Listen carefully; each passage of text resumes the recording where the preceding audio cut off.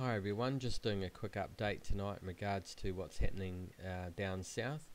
The um, We've got this nice big um, low that's churning away just here, um, pushing all this warm moist air from Australia down um, on the bottom of New Zealand.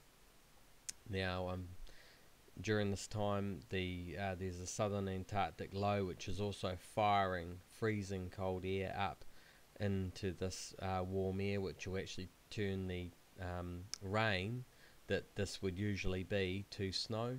Um, and there'll be blizzard conditions basically in Queenstown area. Um, you know, it'll basically be snow to near sea level um, all the way along the uh, at least as far as um, Canterbury Christchurch area. I don't know about Christchurch City itself, um, but snow will be around the foothills um, up I think it's above two, 200 meters but anyway um, I've connected the um, Met Service forecast onto tonight's um, update uh, so that anyone in the South Island can uh, read that or anyone in the North Island that's interested.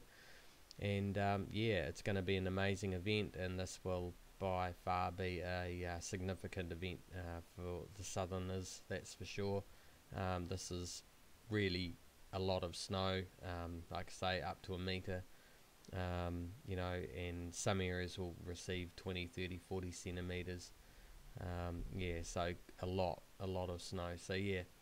Anyway, have a great night and um, chat to you soon. Thanks. Bye.